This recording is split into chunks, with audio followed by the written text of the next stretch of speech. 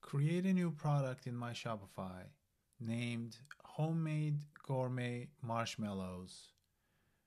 Um, make a six pack variant for $24 and add 100 items of inventory.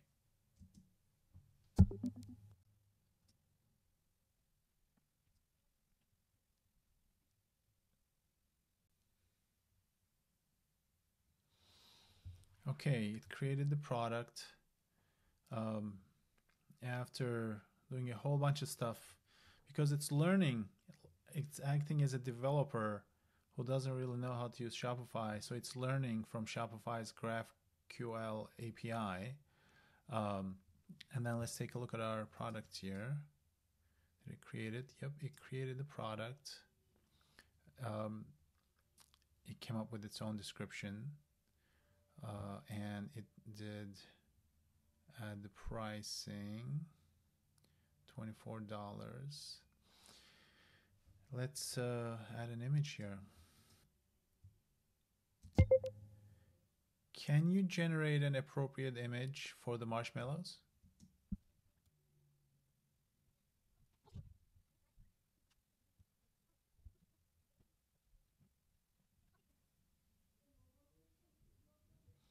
Okay, it did it. Let's take a look. Refresh the page. And we have a product image. How about that? Let's take a look at that. Okay, so let's create a new variant. Can you create another variant, nine items for $32?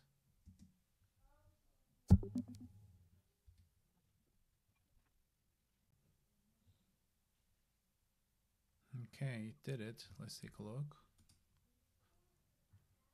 And we have a six pack and we have a nine pack, $24 and $32. Inventory is there. Um, let's take a look to see how it looks on our store.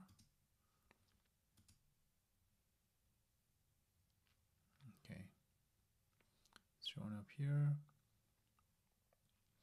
Homemade gourmet marshmallows. Let's give it a discount. Can you create a one day sale for today only on April 21st so people who visit this page to buy the marshmallows get a 20% discount automatically?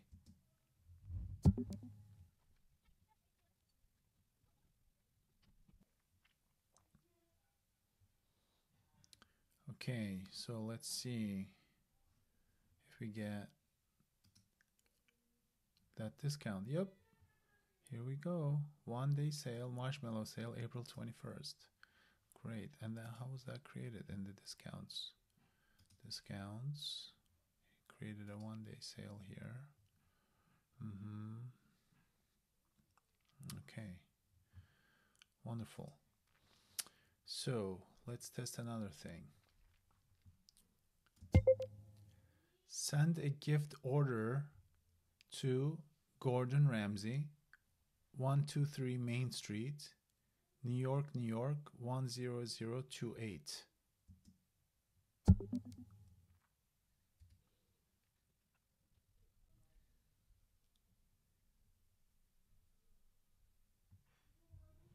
Yeah. Looks like it did it. Let's take a look. Order there?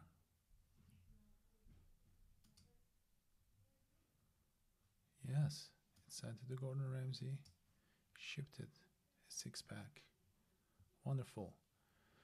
Let's test one more thing. Um, let's create a discount code for Gordon Ramsay named Gordon, 15% off for his audience.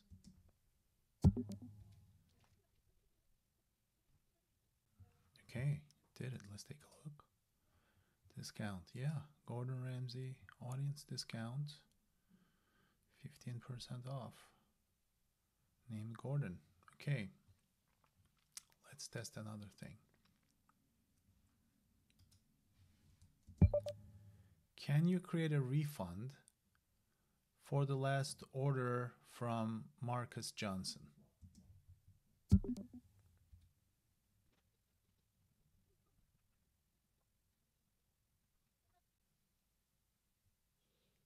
Okay, let's check.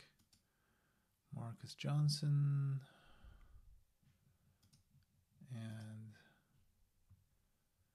this has been refunded by our MCP app. Great. Let's do some analytics. Can you tell me our aggregated sales in our Shopify store last week?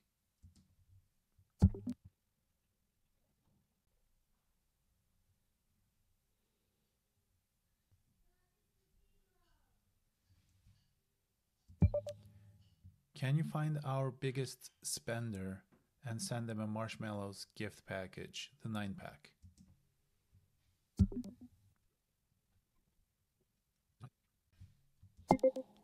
Can you mark that as shipped as well?